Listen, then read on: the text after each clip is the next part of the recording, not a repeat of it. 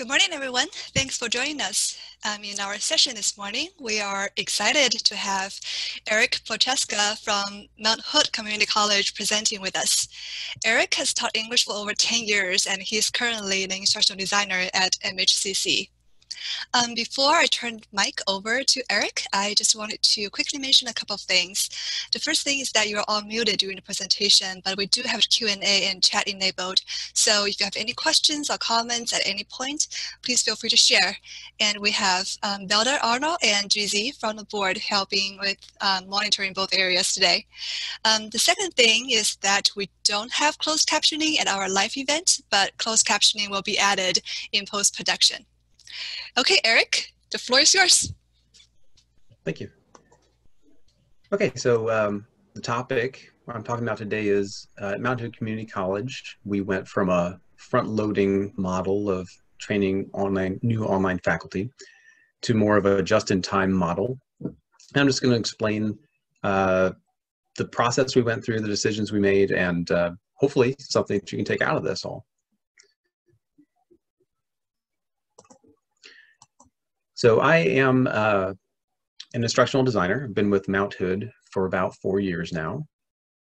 And at my previous school, I'm going to share a little story uh, first. At my previous school, we went to a conference, national conference, and we attended a session that we thought was going to help us because we were facing a problem trying to get buy-in from faculty as we tried to get more quality in our online courses. And so this session sort of promised to answer the challenge that we uh, found before ourselves. The session was great, very well attended, had super ideas, and I mean the attendees were just just waiting for the Q&A. And the very first question that came up was, how did you get your faculty to do all of these things? Because the faculty of that school were very engaged, and they were uh, being paid a stipend, like a very small stipend of just a few hundred dollars, for example, to review somebody's online course, um, or it might have been to do a couple of online courses. And I actually knew the answer to that question because I was familiar with the school. I had been at that school for an interview before, and the school was in Texas. And so the answer was there were two very important parts of the answer. One is that it's in Texas, which is a right to work state, and the uh, school had most of the leverage in terms of getting faculty to do what they wanted. And then the second aspect with that particular school was their online learning had its own campus. So if you were an English instructor and you taught English classes, that wouldn't automatically mean that you could teach for the online learning department. You'd have to go through their training. And I think actually most of the instructors in the online department were not teaching in other departments on the campus. So it was its own entity. And when those answers came out, I think most of the people in the room just kind of the wind got taken out of their sails because here were all these great ideas and they were wondering how they're going to put those into practice in their school. And ultimately, they might have decided that they couldn't. And the big lesson that I took out of that and that I, I think is kind of the, the uh, theme for my presentation today is context. You know, you have to know here in school, your faculty, the atmosphere, the culture, your department, your your budget, your limitations, your capabilities. So everything I share today is what we went through. And definitely, I think there's something in here for everybody who's interested in, in approaching their own training revamp. But again, it's not like we're handing out a formula for here's how we did it, so do it this way. And one other thing I should probably say is, of course, I'm doing a lot of criticism, or I'm, I'm going to focus on the things that we did criticize. And I hate that it's going to sound a little bit negative, but um, it's just that we focused on those things uh, because we knew those are the things we needed to change. And finally, you're going to see a lot of uh, pictures of board games. Uh, they might be non sequitur, or maybe it's something that'll help you sort of remember the concept that I'm going over at that point. So at Mount Hood Community College, the old system was something we called the Faculty Academy. And we had one faculty trainer and we had one instructional designer. Then I came on in 2000, uh, late 2016 as the second instructional designer. Online teaching is an optional thing. Uh, you choose whether or not you want to offer an online class. I don't think there's much pressure put on anybody to do that. They're not contractually, faculty they're not contractually obligated to do it. we're a Blackboard school, and we are um, a little bit unique in that within Blackboard, we have created a, an HTML template, so lesson pages that uh, are used to provide a framework of accessibility and UDL for the structure of a lesson. And faculty edit those pages using a what you see is what you get online editor. So a lot like using a word processor, for example. So the academy lasted one term, and for us, a term is 10 weeks. We have four terms through the year. Um, and it was very much a front loaded system. We had a course inside of Blackboard that had the information in it, and faculty would proceed through the course. They, anybody in the academy would be simultaneously uh, taking a course and building a course. And when I arrived, it seemed that we had around two or three participants at a time. I'm not sure if that was historically the case, um, but I did arrive again in, I started in 2017 working with uh, faculty in the academy. And my director made it clear she wanted me to go through the academy model with some faculty. Um, the department already knew they wanted to change, but she wanted me to get that experience in that model so that I'd understand where the conversations were starting from. Um, and one really key thing about the academy model is that faculty can enroll anytime they wanted to. So some faculty would enroll in the academy just because they were curious about what an online class was going to be like. Some would enroll during a sabbatical as a sabbatical project. Um, and this, uh, I think we'll see, was one of the maybe one of the main factors that would cause some problems that people didn't necessarily have an upcoming uh, online course that they were preparing for.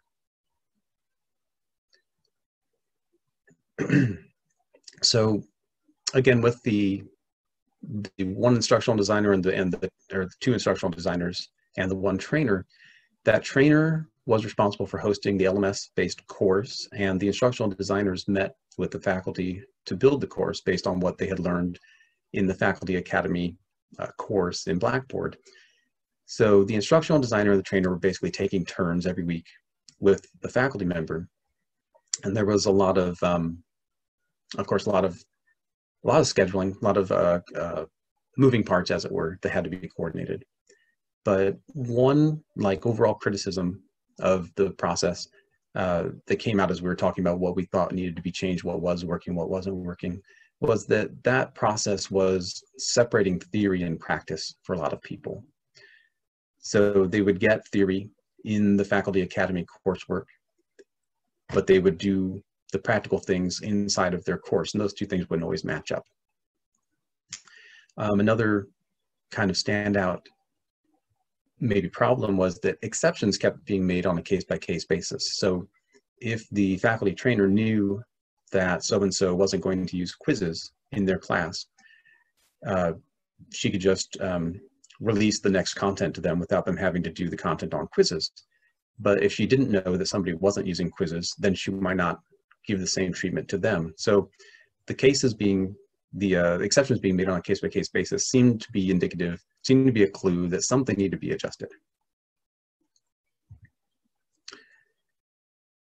So in overall characteristics, what the old system was, was everybody started and finished at the same time in that 10 week period. And it felt like a one size fits all with the scope and sequence predetermined and theoretical.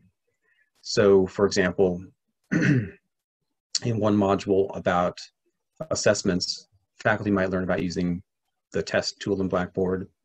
Um, they might learn about using the assignment tool in Blackboard, and they might learn about grading work. And there might be some information about blogs and journals and wikis. But what if there was an instructor who wanted to base their course on a wiki? There just wasn't that much information in there for that person.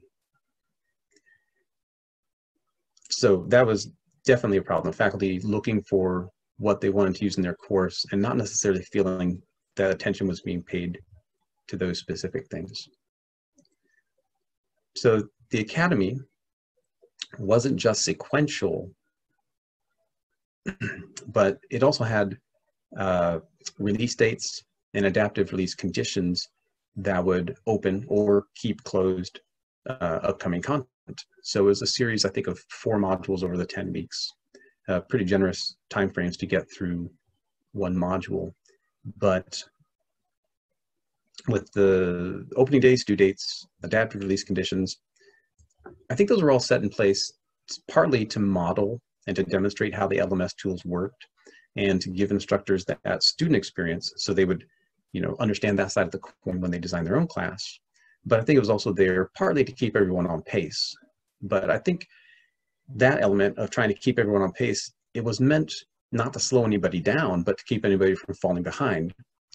But it seems like in some cases at least it had the opposite effect. It just would frustrate people who were motivated to move ahead and those who wanted to skip topics skip into topics that they're interested in were frustrated by being held back and then people uh, who didn't meet the conditions uh, it, it just felt like they were jumping through hoops. So the best of intentions but ultimately it just wasn't working out.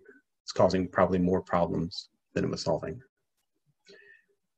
So this is a, a page from our faculty academy class. So it's HTML, it's an HTML page. Um, and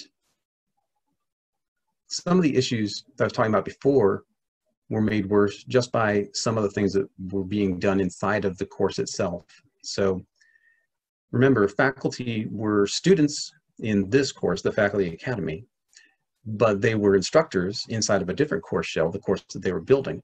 So they were basically learning two interfaces at once caused a lot of confusion. Uh, people looking, for example, in this course shell, looking for ways to move content around. Or another thing being that in their own course shell, they were looking for ways to do what was done here in the Faculty Academy. So this doesn't look like the courses that people were building. This is a, a very jazzed up bells and whistles sort of a page. Um, the slider on the right, it's outlined in that pink tri uh, pink rectangle. It's kind of the dark gray area. That slider would be triggered by a hyperlink on the page. And then it would just animated, it would slide out from the right side of the page. And it had a lot of content. Some of these sliders had maybe two or three pages, printed pages worth of content in them. And each uh, faculty academy lesson page could have one or three, maybe even, I think the most was on one page was five sliders. So we were showing faculty this product that they weren't going to be able to make. That was another source of frustration. And it also made it so that speaking of controlling the access to knowledge or to this information, when they would go back and look for something that they were sure that they had read somewhere, they couldn't just do a simple search on a page and find the information. They'd have to open sliders, look inside of sliders. Um, it was, again, it, it's a it's a nice looking page, but it was probably causing more trouble than it was worth. And ultimately, I think it probably also sent the message that we thought appearance maybe was a priority. So we've got all these things.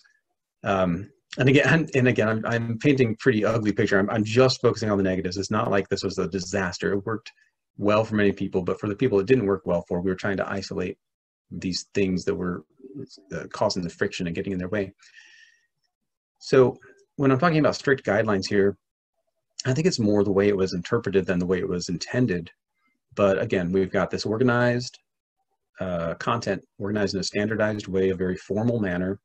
And for any faculty who wanted to quote uh, color outside the lines, there was this matter of differing expectations. So the, the trainer was trying to keep them on the straight and narrow for the content that they were learning in the faculty academy, because that was all pre-packaged. Then when they would speak with the instructional designer, the instructional designer might be willing to talk about those different ideas. So they're getting now they're starting to get mixed messages as well. If someone would fall behind in their work um, forget to submit a quiz or participate in a discussion then they might get an email from the trainer. And of course that was intended to keep them on pace intended in a very positive manner. But i think it also could come across as kind of a nag email to some people and you just get this uh, sometimes a spiraling uh, negative relationship happening. Um, I think from my time working in the old system, it felt like we weren't always focused enough on building their course, but our attention got diverted to managing their time. And anytime a professional is put in a situation where a peer is parenting them, you know, it's not too unlikely that this harsh vibe is going to happen. So now we've got the flow of knowledge being controlled, the scope and sequence not matching the perceived needs and wants, and we've got the autonomous streak that faculty and probably most instructional designers share, uh, working against us in some cases. So it's no surprise we have people who would just go AWOL. They would stop participating in the academy class. They might even stop meeting with the instructional designer. And they would, in some cases, they would just stop working altogether but in some cases, they would keep working on their class, but kind of in their private laboratory, just on their own. They wouldn't respond to emails. They wouldn't show up for meetings. But when they were done, or at the end of the 10 weeks, they would show up and show us what they had done. Um, that obviously was precluding the conversations and and the training element that was intended from the get-go. So it wasn't working out. Even if somebody did come in with a pretty decent class, then we wouldn't know how they arrived at that class. And this um, this faculty academy, the point of it was not just to build one class, but to equip the faculty to build and teach quality online courses going forward. So not knowing how they had gotten that product was still kind of a problem. And sometimes we could just talk with them and find out uh, what they had learned and everything. But again, it was a it was a real monkey wrench there. So Uh, one other uh, thing to point out here is that if there is a faculty member who was already teaching in Blackboard or another LMS at a different school, even if they're teaching the same course that they're going to teach at Mount Hood, we did not allow them just to bring the course over to copy the course and then begin teaching it. They were still required contractually to go through our training. So again, um, you can see where that obviously that still is a point of frustration for some people but i think under the old system even worse because i think that they didn't definitely didn't see the value in going through the academy part. And they felt that their class was already built so why would they build another class? And again a lot of people just kind of in that diy mentality there. So now we've got people expectations not being met don't see the value in the training trying to build a course on their own. And remember, they might be doing this even though they don't even have an online course being offered in the near future or at all. So they might be doing this just out of curiosity, uh, for whatever reason. So it's not surprising at this point, people might just stop out. They might drop out altogether. We saw just in the time that I was in the old system, which was less than a year, definitely saw a lot of dropouts and then return customers.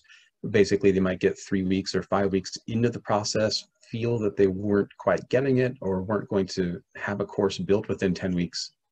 Then they'd stop, they'd schedule to start up again in the next term. And so it was, uh, it was um, not efficient, basically.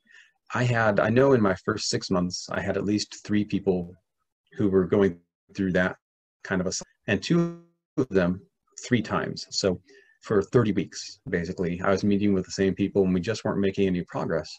And in i think at least two of those cases i don't think the course was ever finished. So it's not surprising you get this this uh, cluster of frustration this feeling you're wasting your time. You start to expect the worst when you see these same people come through the door again. So again all of these uh, negative things that we found they just keep accumulating and building up and ultimately we're we're not offering the courses that we want to be offering and people aren't getting the training that we want them to be getting. So we knew we had to change. So we get to a turning point. And again really my director knew we were already at the turning point. Um, we kept using the old system for months um, as we were having these conversations. We didn't just flip a switch and switch to a new system but we were we were having weekly conversations at a minimum about what could a better system look like. So obviously we have um, these three professionals in the room, the trainer and the two IDs, as well as our director, our support specialist. And we've all got experience with what is working and what isn't working in the current system. We've tried things in the past as trainers at different schools or as instructors in different classes. We've had experience as learners, we've read articles, we've gone to conferences, we've got a lot of ideas. And then how do we sort through those ideas? How do we bring all of those up? I say one thing is, I don't, I don't know if we ever had uh, one idea that was simply like a system. We'll just take this existing system and impose it on our system. I don't think we ever thought that that was going to work. I think we always knew that our situation was specific. And so we had to probably custom make something that was going to work for ourselves. So we're looking what's going to work, what elements are going to work individually, but of course, more importantly, what's going to work synergistically. So we brought up a lot of ideas. We shot down a lot of ideas. Um, in, in terms of that individual versus synergistic, one of the ideas that I remember coming up was to still have a faculty uh, discussion board so that everybody going through the training at the same time would be involved in certain discussions. But then if we were going to get rid of the old academy course, the question was, where is that discussion going to live? And if we if we start uh, bending the rules and changing things so that that discussion can exist, how does that affect all the other things we want to do? So lots and lots of meetings, lots and lots of ideas coming and going. What we did know for certain that we wanted were two things. We wanted a more flexible training that could adapt to any faculty member, and we wanted resources that could be as close to the point of need as possible.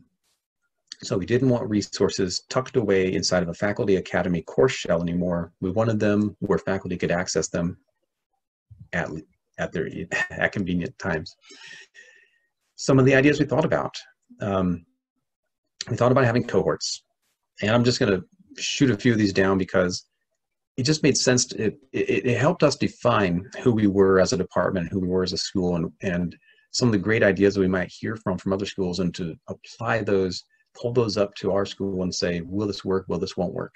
So cohorts, we immediately saw we probably would have scheduling problems. And that was based on our experience with people skipping meetings or missing meetings in the past. And admit, actually, at this point in time, if we talked about doing cohorts again, we might do it. But back then, we just didn't think it would work. But we talked about having three milestones throughout the 10 weeks. And at those three milestones, the instructional designers and each of their uh, faculty members would come in into the room together, into a, a, conference room together, peer review what had been done, brainstorm some new ideas. But again, we were just really worried about uh, people not keeping up, and then if they didn't keep up, if they were holding back somebody else who was doing well. We thought about having a dedicated instructional designer for each department on campus. Um, the first argument against that was probably that some departments have tons of people come through our training and some departments have very few people and just how to juggle that and that that would flex over time didn't seem very feasible we talked about embedding resources inside of the blackboard course shells and we mocked up a few ways to do this um, we were talking about things like putting notes to instructors inside of modules links to tutorial videos inside of those modules. The problems here, um, on the surface level, I'd say the problem is that it could be still kind of clunky, kind of confusing. Ultimately, we would, we would be telling faculty to delete those things, but we wouldn't want them to delete those too soon. But I think the, the more underlying problem is that model is still task-based, it is still prescribed, it is still predetermined. And that's what we really found ourselves. We kept finding as we tried to break away from what we had been doing, we were really, you know, tethered in it. And I don't know if we were just familiar with it. Um, we kept talking about doing something different, and yes, it seemed like it kept circling back to what we were already doing. One final idea we had was um, using project management tools to loop in the deans, to manage appointments, track progress. Again, this ended up still being focused on uh, tasks and management probably would have uh, backfired, I would guess. So we shot down a lot of ideas, but it helped us contextualize what we needed for our situation. So the ideas are developing, the wheels are turning, we're coming up with some good suggestions, but we've also got reality that sometimes got in the way. Our school has a pretty strong faculty contract, and some of the details of our training are already put into official language. So the overall parameters, we didn't have really wiggle room to just adjust things as we saw fit. We had to make sure it matched what was already written down. Time, we could only cover so much content in the 10 week periods. Um, I used to teach at a school with 16 week semesters in a different state. The online learning department there had a semester long training, which made sense, you know, 16 weeks.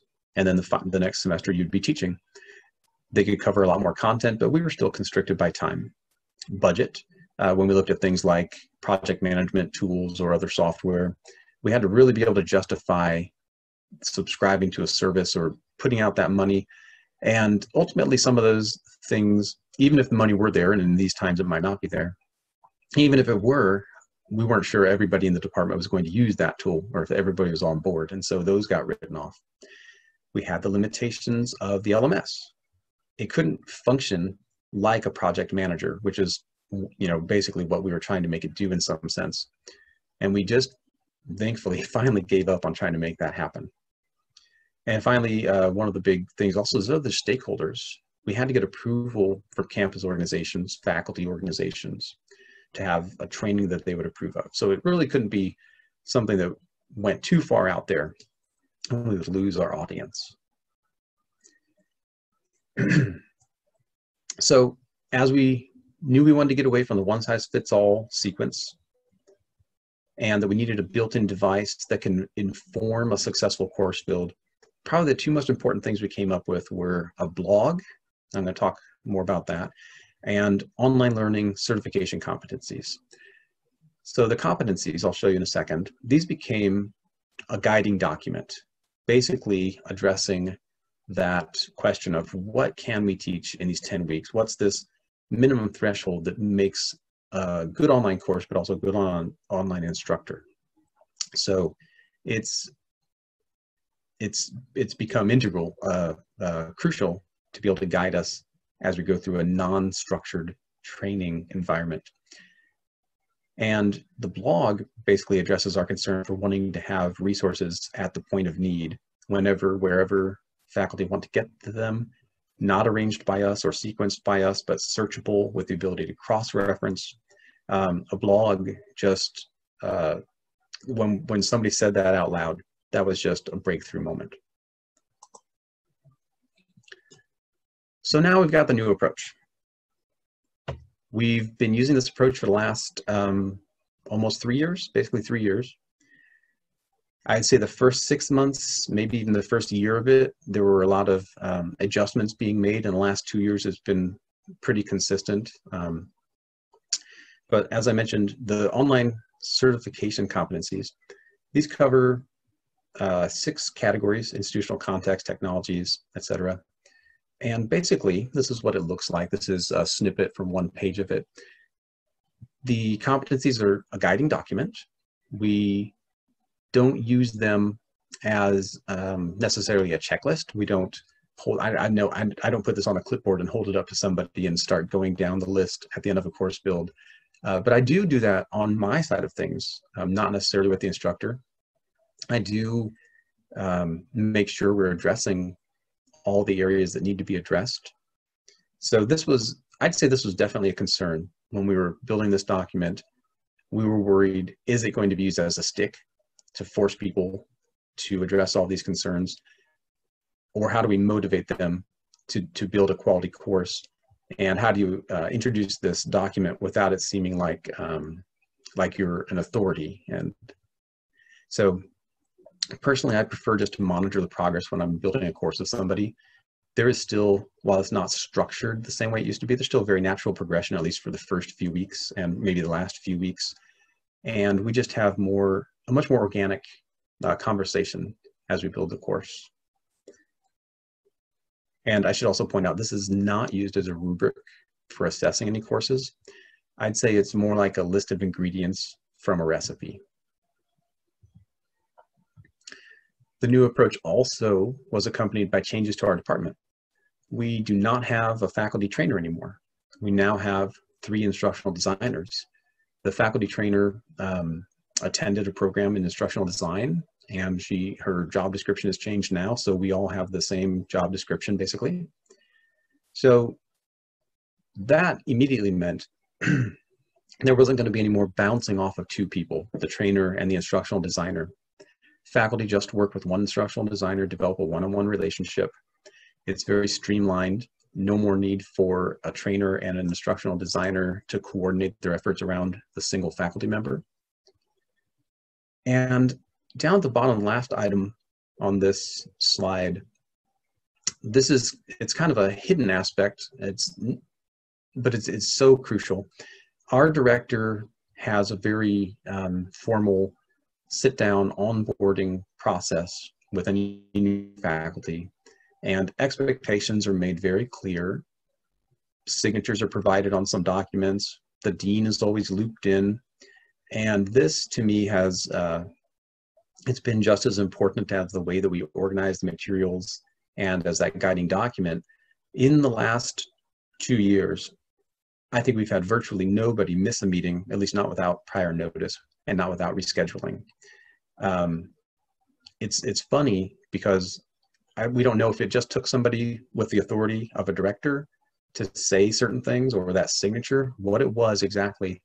The faculty just um, they treat the training very, very differently now. And definitely having people not miss meetings is very helpful. The new system, the core topics are covered when they're appropriate, when we when we reach that point in a conversation with somebody in their course build, but we don't have a formal course with a scope and sequence the way that we used to. Again, we just use the competencies and our own knowledge and our own professional uh, professionalism to guide them through their course build. And other topics come up uh, naturally as well. For example, when I start talking with somebody about building a course in our template pages, I'm going to show them the course shell, show them the template pages, and I always explain how that template page works in terms of accessibility and universal design. Then once that faculty member starts editing those pages again, and I'm showing them how to edit those pages, I remind them to keep the headings in place, to use lists, um, to keep their colors accessible so that conversation comes up again. When they've edited some lesson pages and made some pages in their course and we're reviewing them together, again, that conversation just keeps coming up. So instead of just putting it out there in a chapter of a book, it's revisited oh, probably almost every week in some cases. So there's no more formal course, there's no more quote unquote homework, no more tasks, no more hoops to jump through. Everything that we ask instructors to do occurs inside of their course that they're building. And it directly affects the quality of their course. So it's very obvious to them it's practical and it's being applied we have agreements that any instructor who enrolls in the certification will be offered that course online the following term. And we now require the deans to approve of the people who enroll in the training. So you put all that together and it makes the training very relevant and very urgent for people. This is a, um, a mashup of a couple of screenshots the larger image is the homepage of our blog, and the inset image is from our Blackboard. So we decided not to try to put the resources actually inside of course shells. We thought that would muck things up, just cause more problems than it was worth. Our solution was to put a link to the faculty resources blog in the top tab of Blackboard. So no matter where you are when you're in Blackboard, you're just a click away from getting to the blog. then on the blog itself, um, I'm sorry, I just I just always call it the blog on our faculty resources site itself. We try to design it so that people could find things in ways that are natural to them. Uh, what I mean here is at the top center, there's a search form, and the search form probably gets used, I would assume, more than anything else. In the middle of the page where the Blackboard icon is and the course setup is, We've got some clusters of topics that we've hand curated to put out there, things that we know people have been looking for and asking for. So that home page is uh, sort of manually set up. And then over on the right, it says search by topic, and there's a drop down category uh, menu. The categories align directly with the topics from the certification competencies. So they can search in a way that's uh, so, somewhat connected to that guiding document. And then the tags, the tag cloud on the right, um, has also proven to be very, very well used. And we've actually developed a kind of a new thing recently. We've got a couple of them deployed. It's what we're calling a launch page. So we have some topics like Zoom, um, Kaltura, things like that, that have sometimes maybe a couple of dozen topics related to them. And people new to those technologies might come into the search bar and just type in Kaltura. They get a couple dozen results, not maybe arranged in the most helpful manner. So the launch page clusters topics under subcategories, like getting started with Zoom, um, adding Zoom content to your course, things like that. So this landing page, this homepage probably will be replaced by something else once more of those launch pages are up and running.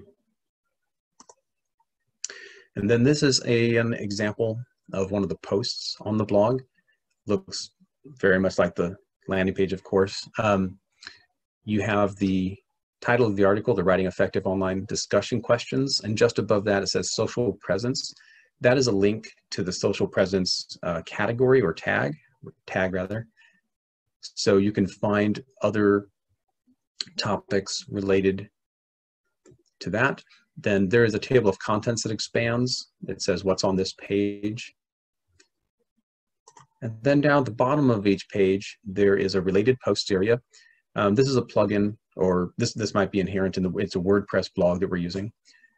And we can manually add things on a post by post basis. So if we know that we want people to be paying attention to the grading online discussions topic, we could put that to be the first related post under any topic that is related to discussions, for example. Down below that, there are some colorful icons where you can email this topic, print this topic, share it on different media, different ways. Below that, it says explore topics tagged, similar to this one. And that has then the tags that were attached to this topic. These are all links that, for example, if you click on instructor presence, then you'll get a listing of all the, the um, posts in the blog that are tagged instructor presence.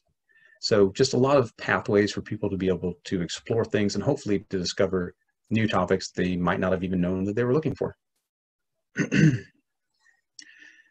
so back to the board games, our, uh, our new approach. It's definitely allowed more time for conversations about the class and how it can be taught.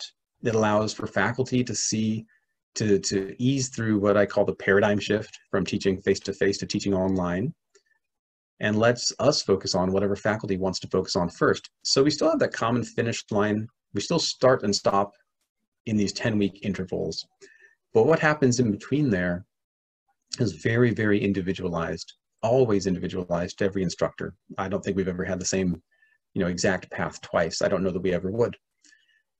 And again, there would be some worry early on that we would miss things, but um, we have, again, the certification competencies. So we have that guiding document to remind us of anything that hasn't come up organically that we can make sure to bring it up in a meeting. But there just seems to be always a conversation to be had about these broader topics when we're working on the detailed elements. And we always get around to building a fully developed course guided by those competencies. And using the blog, we can send out whatever topics we think somebody needs at a given time directly to their inbox.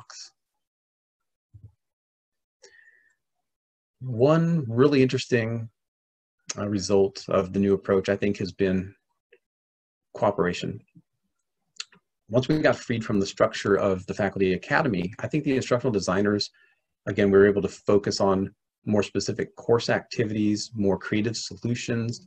And then, of course, we get excited about what we come up with and we share it with the team and we see how we can uh, introduce that to somebody, another faculty member who has a similar uh, activity or uh, problem in their course. this could be something like using Flipgrid in place of a discussion for a particular reason or using uh, lately actually some people have been using the Blackboard uh, blog tool for discussions instead of using the discussion board uh, because of its similarity, the blog tool similarity to social media. And it seems to have provoked more discussion with their students. So a lot more sharing going on. And I feel that that gives faculty more creative license and ownership. Faculty feel more invited to bring in ideas and tech that they've heard about because we're not just dictating to them this process and the tools that they have to use. So the last couple of years, um, this might be overly optimistic, but yes, more successes. In a certain sense, no one loses, um, and everyone enjoys the process, maybe. Um, again, we have, I, I don't think I've had anybody stop out or drop out for two years, over two years. The only person that I can think of, they had a medical emergency in the family and stopped maybe five or six weeks into the process and then immediately picked up in the next term and finished the course. And it was an amazing course, turned out to be a great, great course, one of my favorite courses ever. Um, but we're avoiding that that cycle of those negative emotions and, and negative reactions to people who uh, come back through our door like a revolving door. We've just gotten rid of that dimension entirely.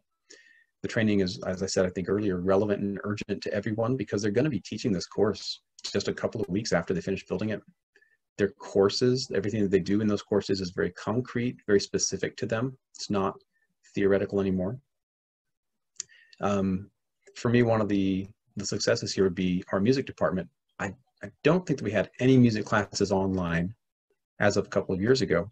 And the first music class that I built was actually beginning guitar, not the first one that I thought I would build. Uh, did beginning guitar and then music appreciation. So it went from one faculty member, a few months later, a next one, a few months later, the next one, and just finished up with the fourth one in the last, I think, two years. About every six months, somebody's come through and they've all asked uh, to work with me. I think that's great. Um, I, all of our instructional designers are great, but it just says, you know, they're having a good experience.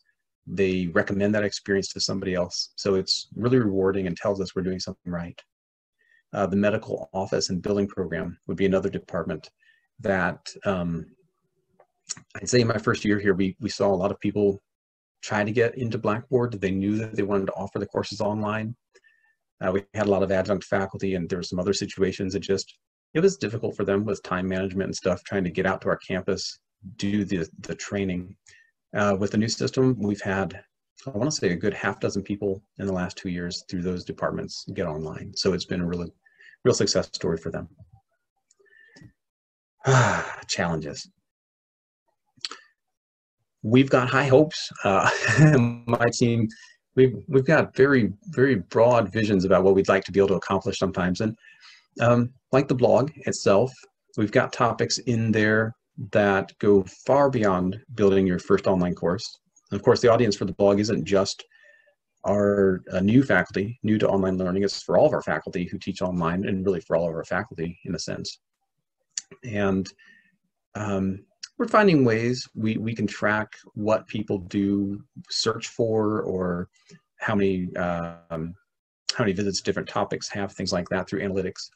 And we can just see you know certain topics we wish we could get out in front of people more. Maybe people aren't digging deep enough diving deep enough into the blog to get to those topics so there's still a challenge of how to get certain uh, topics out in front of people and even um, we've had a lot of praise for the blog um, some people just love it. It's revolutionary to them. Uh, we've had um, literally somebody said, I don't like to read and uh, please make us videos or please Zoom whenever I have a question. And that's fine. Not everybody uses the blog. Um, not everybody uses it to the same degree, but for us, it's been largely successful. It takes a lot of work off of our shoulders. Uh, in fact, we, on a side note, we've also created a student support blog. So uh, totally separate space, different look to it, but answers a lot of common questions that students have that takes a lot of the work off of the uh, phone lines and off of our support specialist. Lessons learned. Um, bells and whistles, bells and whistles slow down a blog is one lesson learned.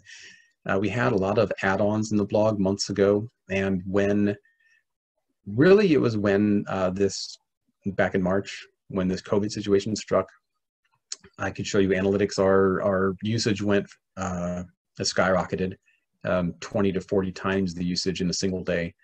And that started showing us that with that much usage, our blog was a little sluggish. We started taking things out. We could identify whether or not people were using those tools. Uh, took them out, sped things up, and um, the streamlined model is definitely working better for us.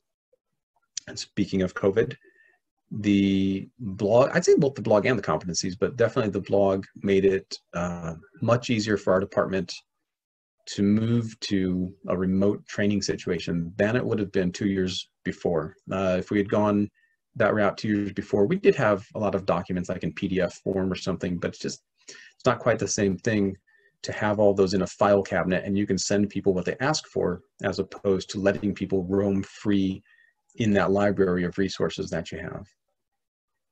And one challenge that comes up, I'd say, with maybe with COVID or uh, anything else. Uh, for example, I was, I was, just reminded at the beginning of this session that when we all jumped on Zoom back in the spring, Zoom, I believe our Zoom crashed a few times.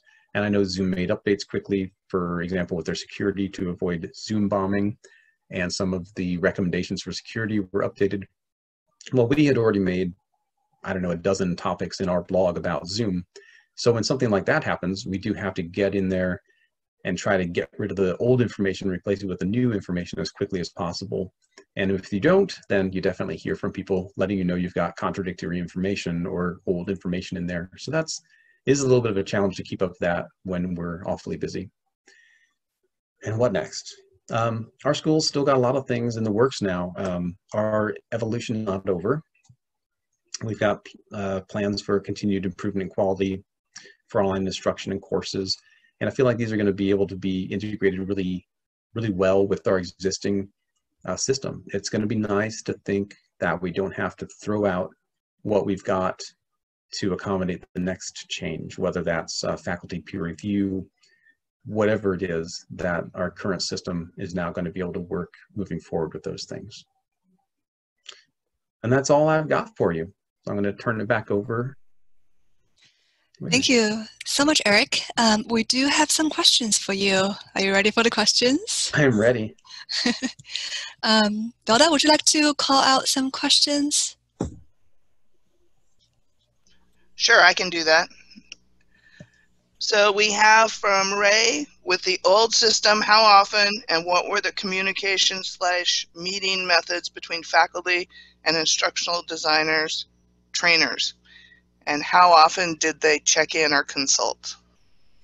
Yeah, it was supposed to be a weekly meeting with the instructional designer. And then I think with the trainer, it was mostly done through email um, as things progressed. But of course, if if things weren't progressing, then the trainer might also ask face to face or might request to be in on the face to face that the ID already had scheduled. So, like on paper, it's not a very complicated system, but in practice, it, it just turned into a kind of a mess sometimes. And I'd say we still we have the same requirement now. It's a weekly meeting, once a week for one, either 60 or 90 minutes. I'm using nine minute 90 minute slots with my people um, and nobody has complained about 90 minutes uh, once a week. And um, again, this time there's no trainer looped in, but um, so that that requirement really hasn't changed. Okay, thank you. Um, another question from Ray. Um, no, that's the same question. Uh, with the new system, do you provide faculty with custom individualized digital teaching resources, i.e. special topic websites and or LMS-based resources? Yeah, definitely uh, the first, um, if there's a resource that we know of, for example, that we don't have some sort of a write-up in it in the blog, yeah, of course, we'll send them the link or we'll demonstrate something for them, whether it's a software, whether it's a website that will help their students a tool that will help them. Um, and then for the second, um, we do we definitely do some customization inside of course shells. Um, I do some work like some CSS, some some style work.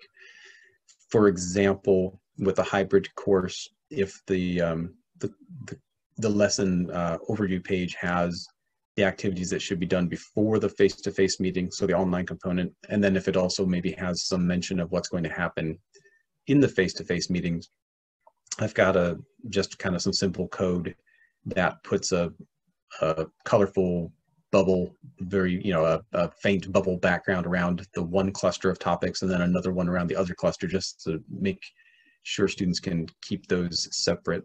So we do a lot of like custom work there in the HTML, and that's sometimes the fun the fun part of a course build. I would think it would be fun. Uh, okay, and another question from DW. Why did you choose a blog versus a knowledge base? Um, gee, that might be a good question. I, I can't remember off the top of my head going back. Um, but, but wait, I think I do know. Our student blog actually is a knowledge base. And so with our knowledge base, we've got a much more, it's much more linear. It's not totally linear. You can search for things, of course, but um, in the knowledge base, topics are grouped under, uh, there's categories, topics, subtopics, etc. So it's a more of a organized method. With the blog, it's really only organized by how things are related to each other. So how they're tagged, what category they belong to. And you can click on a category and see the contents of a category. But when you do click in the category to see those contents, they're just arranged chronologically. They're not arranged. Um, it's, I'd say with the blog, we were hoping really that, uh, for one thing, that we wouldn't limit the way that people found things and then we were also hoping that people then would stumble upon a lot of topics. So some of that's happening. That that would be one area where I wish it was happening more. But I think people take what they need and don't spend a whole lot of time in there reading every other little thing that we've written up. that would be weird. so, a question from Paul. Do you have tips on gaining management buy-in for the blog? management buy-in for the blog yeah it's a hundred dollars a year man um I'll, so I, i've i've done a few wordpress blogs before over the years and so this was um, something that i took on. And i think i actually i had a site that i had hosted and i went ahead and installed a blog and mocked up some stuff before i showed it to the team. Um, and it was you know those i think first questions were basically what's it going to cost? And it was you know pretty much the cost of hosting. Wordpress itself we aren't paying for any plugins. We've got a couple of dozen plugins really very useful plugins. We haven't had to pay for any uh, outside coding at all. We do that uh, little customization to it by ourselves uh, just customization to the visuals. We haven't customized like any of the scripts. So um, it's really cheap for one thing but it's so easy to it's so easy to update topics. You know if you've got um, any any other method of of having a repository of documents you know those physical documents maybe get printed get sent out etc uh, with the blog when we need to change um, something about zoom's security policy we get into that post we change it we update it we clear the cache of that post and everybody who visits that page now has the updated page and there's no worry that there's an old copy of it out there anymore and it's very it's very organic and flexible. It can grow with you, very scalable. Okay, another question from Paul. Can you subscribe to a knowledge base like you can with a blog? I think that you can. I think that would come down to uh, what service you're using and then what plugins were in there. So uh, WordPress was our choice because it just has, I, I want to say tens of thousands of plugins that add different features to your blog. Um, the competitors just don't have anywhere near that kind of functionality. So, for example, we had added in the past scripts like where people could bookmark pages and they could save their favorites. That's something we took out. We found that people just weren't using it. But um, you can add feedback forms, contact forms. Um, it's pretty limitless what you can do there. So I'm sure you could add a subscription feature. Okay, thank you. So are faculty required or expected to do accessibility training? So we do a degree of accessibility training, you know, within the context of our online courses. Um, this is a conversation that comes up a lot because we do have an accessible education services department on office, department on campus. Um, that that's really their wheelhouse. So, for example, if I get some when we when we teach somebody how to edit the template the template's basically headings, um, bulleted lists, nothing too terribly complicated. And so we teach them those basics to use the styles to create your headings, things like that. Uh, when it goes beyond that, when we've got like a literature professor who has 50 scanned PDFs, we might have that conversation for with them for why those need to be addressed, but then we definitely refer them to the AES. Okay. Um, in your new approach, what's your instructional designer to faculty ratio? Um, I guess I'm not sure I understand that question exactly, but instructional designer works one-on-one with every faculty member who they work with. So well, you have um, three in, three instructional designers. How many faculty do you have? Gotcha, gotcha. Sorry, I, and I meant to cover that earlier. Right now, for example, we've got 15 people, I believe. So five to one, one to five. Okay. So I've I basically got a, a meeting every day on Zoom with a different faculty member. Uh, one of my peers, I think, has his all scheduled like clustered together in the middle of the week on two days or something, but it's manageable. And can I ask a follow-up question on that? Yeah. Um, now that you do have this more personal relationship with faculty, um, have you experienced any pushbacks on ideas and recommendations that you provide? And if so, how do you approach that? You know, the biggest pushback, the one that comes to mind is when we're talking about RSI, regular and substantive interaction, and we get um, I don't want to sound like I'm bad mouthing our instructors or anything, but you know, this this is one that it's a it's a real sticking point. You know, we believe in it, and we know it's a, a federal mandate, and we also know um, there are some courses that maybe could get away without having a discussion board or or some direct student interaction, but we always try to pursue that conversation. Always, always, always. So, for example, if we're in a science or a medical course and one of the early courses in their uh, program of study might be terminology. And they say, well, this is just a terminology course. They're going to memorize it the way I memorized it, and my grandmother memorized it before me, and they just have this attitude of there's only one way to learn this. Um, that would be the area we get the most pushback in, and we've got arguments for the interaction, and um, we, I would say, I'm saying always a lot. I feel like we always come up also with activities that could work for them because a traditional discussion isn't necessarily a very good activity for memorizing medical terminology. We know that, but that doesn't mean that there's no way to have student-student interaction. So definitely got pushback there. Um, we we can refer to well, one thing we can refer to actually is the competencies. Um, that's one thing that they sign off on that they understand their course needs to live up to what's in that document. And there's a section about social presence uh, with the three or five um, subtopics there. So it's it's something that we can say this is something that you agreed to do. Um, again, I, have never actually had to pull out that document and say that. It usually comes down to some conversations. Um, and I, would have to admit there's definitely some instructors who don't buy in. They might do it because we're saying they have to do it. And I can admit there's at least one case in the past few years that I know somebody um, built those interactive elements and then maybe that first term she taught or the next term immediately deleted those from her course.